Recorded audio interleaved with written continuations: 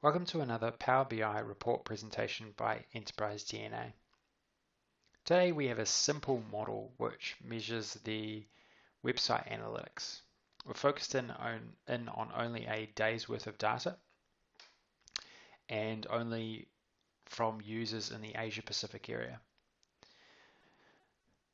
We've very simply laid out all the key metrics in terms of visitor metrics, the performance of the website, and also some site metrics, including the amount, the percentage of emails that we're capturing from users. In this case, that's a very high ratio. You would ordinarily see that a lot lower.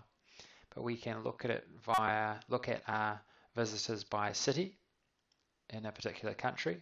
We can also see how many visitors are new visitors. This ordinarily would be quite low, but it also depends on what type of website you, you have. Where are visitors coming from in terms of the search engine or a web browser, the device, and age segment. Here we have a bit more information around the performance of the website. So what was the last page, for instance, that was viewed? So what were, where where did the user actually get bounced, or where where did that where were they when they left? Here, that's some really good information in regards to where you want people to navigate to within the site. Here we have some more key metrics shown over time in this case.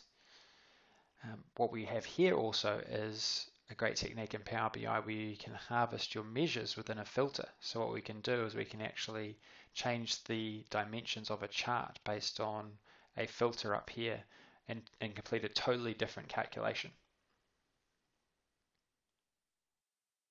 Website conversions. So here we have a have some information on sentiment um, and also some spark lines which are being used to show some short-term trends. Here we also look at the uh, looking at some keyword information or keyword rankings. So, so you might want to understand where you are ranked or see trends of where you are ranked in certain search engines, namely Google. Also, we have some information on our subscribers cumulatively, how many people are actually subscribing. And lastly, we have some information around the sentiment of people using our site.